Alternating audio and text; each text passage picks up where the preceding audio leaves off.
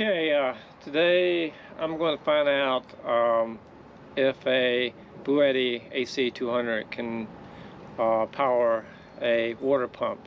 I've seen that a lot of times on the forums, people asking the, the question, but I have never seen a specific answer to it.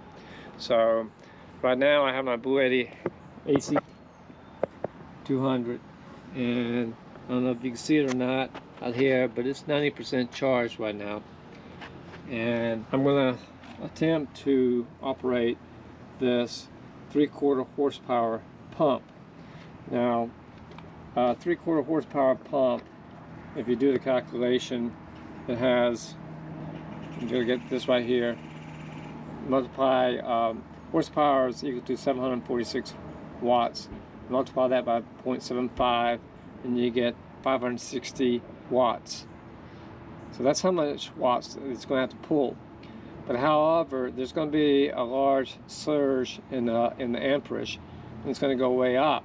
So I don't know at this point if it's going to be able to pull the initial surge of the amperage that comes into the pump.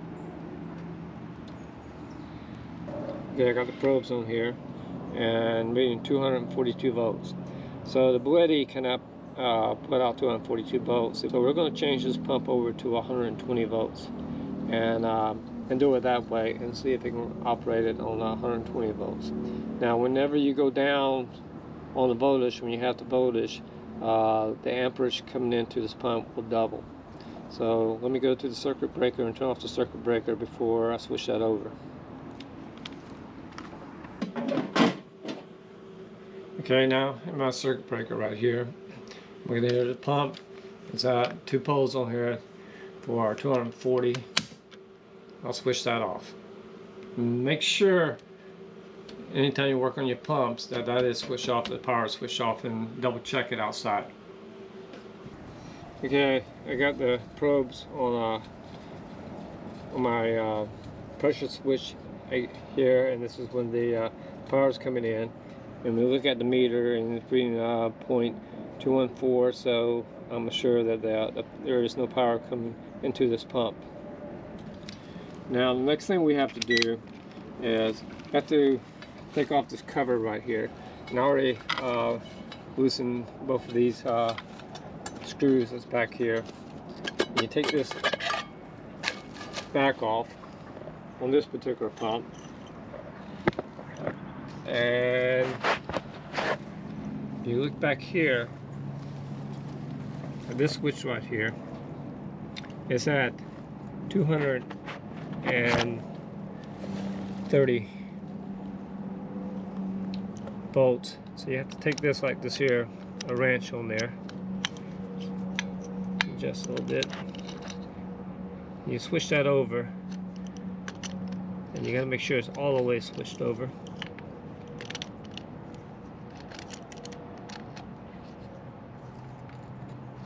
So now I got to switch over to uh, 115 volts.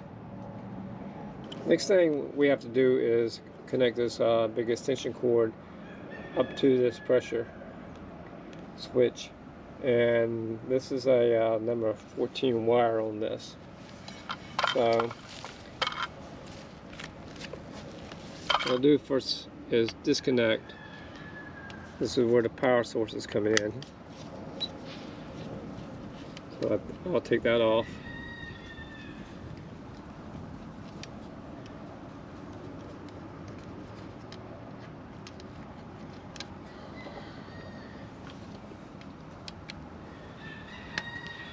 I'll take this one here off.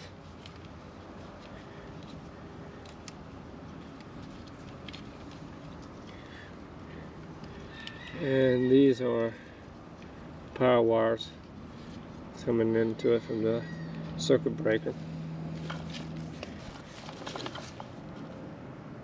So now I will hook these are the this is the hot wire coming in. This is the uh, neutral wire coming in. And um, this wire here is not being used. This red wire is not being used. Um, so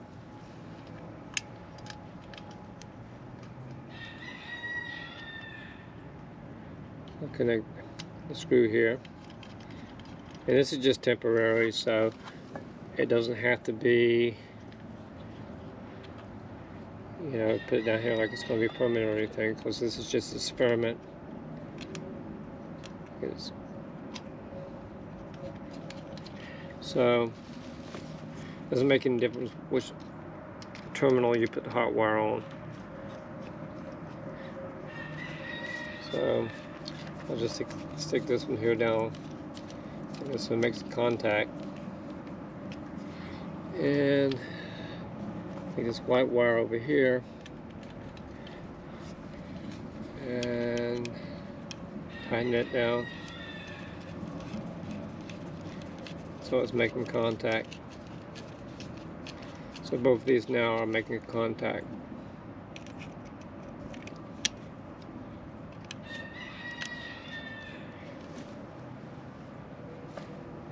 now what we want to do next is we want to plug this into the Bluetti. Here's the AC. It's even hard for me to see out here. So AC should be on, yeah, AC is on now. And this plug here. Plug it in to the Bluetti. Okay. Okay, we'll turn on the water here to release the pressure so the pressure switch will turn on. And we'll see what happens.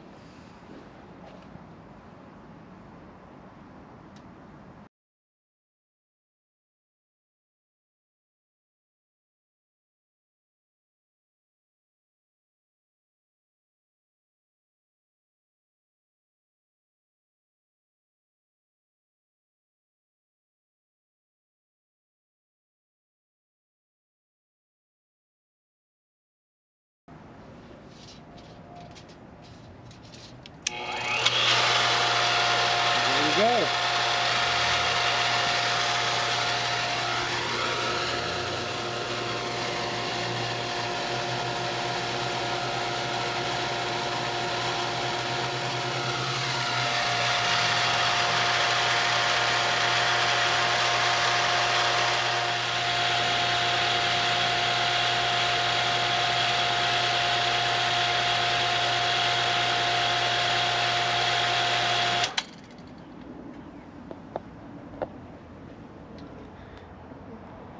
So, uh, one thing I want to add is I want that uh, you will have to switch your pump to 120 volts as I mentioned before. But yeah, in an emergency, if uh, your power goes out, you can definitely hook your Bluetti to your uh, your pump and it, and it will run it. So uh, that's great news. So hope you learned something here. If you like this video, uh, please give me a thumbs up and I'll talk with you later.